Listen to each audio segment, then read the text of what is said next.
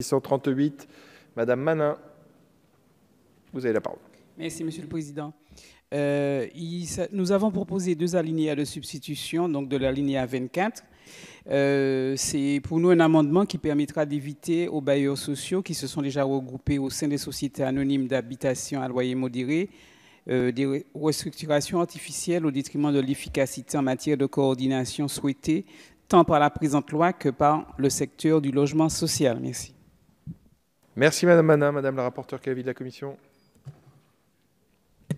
Donc cet amendement euh, va de pair avec l'amendement euh, numéro 2634 qui permet, qui, que vous aviez proposé de, tout à l'heure, euh, qui permettrait à une, à une ESH d'être dans une SAC, que nous avons examiné avant le premier alinéa. Donc je suis défavorable pour les mêmes raisons. Merci Monsieur le Ministre. Défavorable également. Je mets donc aux voix cet amendement 2638 avec un avis défavorable de la Commission et du gouvernement qui est pour, qui est contre. Il n'est pas adopté. Le 2063, Monsieur Peu, est défendu.